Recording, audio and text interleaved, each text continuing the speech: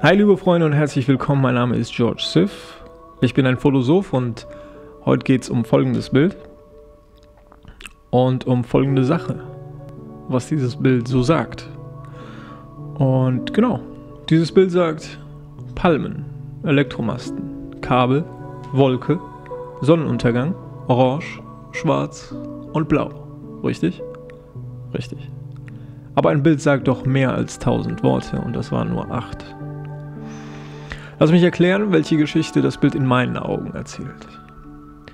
Es erzählt nämlich über die Evolution, den Coronavirus und sogar die Flüchtlingskrise. Und um vieles mehr.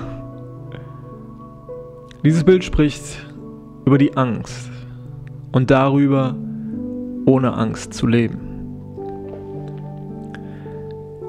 Die Natur ist etwas Göttliches Nee, halt, ich mag das Wort nicht. Ich nehme das Englische.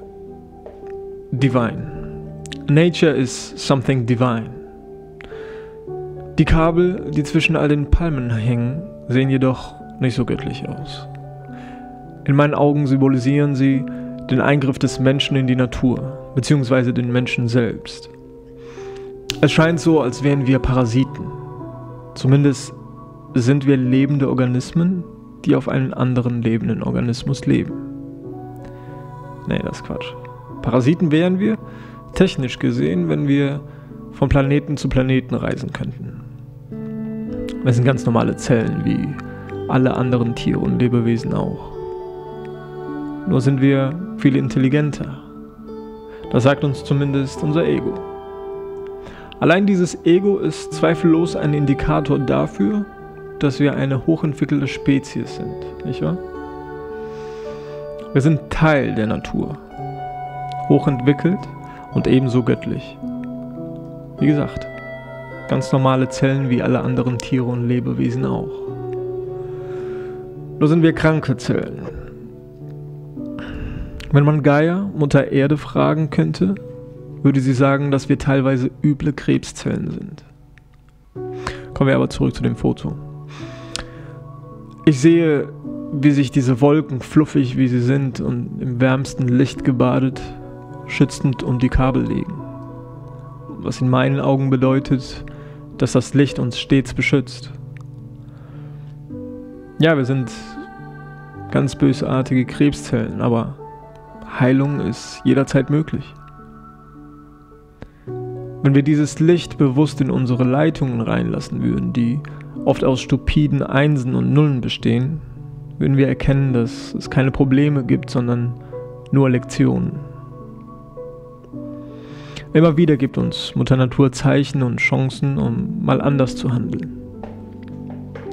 Evolve or repeat. Wir können uns ängstlich einbarrikadieren, Regale leeren, auf eine Impfung warten die Hilfe von außen. Oder wir nutzen die Chance zu lernen, wie man sein Immunsystem und seinen Körper durch gesunde Ernährung stärkt. Wir können das Überleben unserem gestressten Ego überlassen, welches aus der Angst heraus reagiert. Oder wir nutzen die Chance zu lernen, wie man liebevoll durch Meditation mit unseren Ängsten umgehen kann und anfangen, aus der Liebe heraus zu agieren endlich aufblühen, statt nur zu überleben. Wir können hysterisch Einkaufswagen füllen oder wir nutzen die Chance zu lernen, bewusst mit weniger auszukommen. Ein alter Kollege von mir, ein griechischer Philosoph, Heraklitus, hat folgendes gesagt. The only thing that is constant is change. Denn unser Planet und vor allem die Welt, in der wir leben, verändert sich immer schneller. Ich finde es schön, dass wir Krebszellen sind. Denn jetzt wissen wir doch, dass wir keine Krebszellen mehr sein möchten. Wir lassen uns den ganzen Tag von unserem Ego und unseren Ängsten herumschubsen. Die Stimme im Kopf ist verdammt laut, ich weiß. Angsteinflößend, ich weiß. Und zudem hat uns keiner beigebracht, wie man die Stimme im Herzen klarer hören kann. Fangen wir doch damit an, mal das Handy wegzulegen. Irgendwann vielleicht mal meditieren? Allein schon die Intention, diese Stimme zu finden, reicht aus, um die Stimme des Herzens lauter werden zu lassen. Ich rede über die Intuition, die Stimme deiner Seele.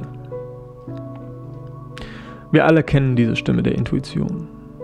Man hat so ein Bauchgefühl, da weiß man einfach, dass man etwas nicht tun sollte. Und wenn man es sogar schafft, dieser Stimme mehr Vertrauen zu schenken, dann sagt sie sogar, was man tun sollte. Aber ich weiß schon wieder ab. Wir stehen ganz verängstigt in diesem Fluss des Lebens und wollen auf keinen Fall weitertreiben. Das war ein Höllenritt bisher, ich weiß. Aber jetzt haben wir schon alles gesehen und erlebt.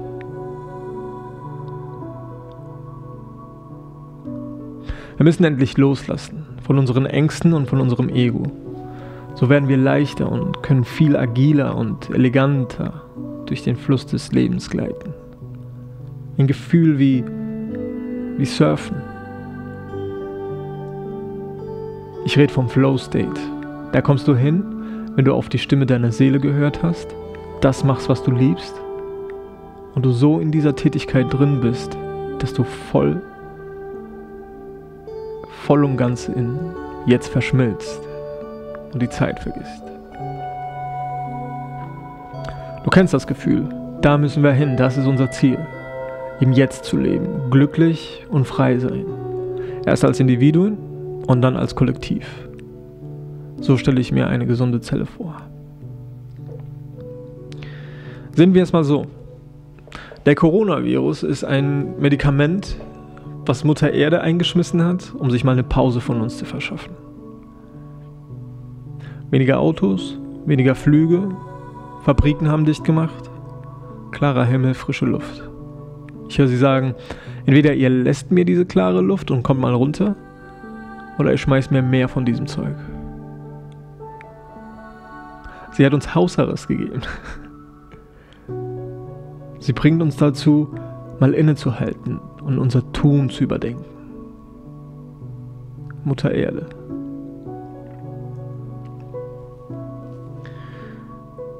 Das Bild sagt, hinter der Veränderung ist immer das Licht.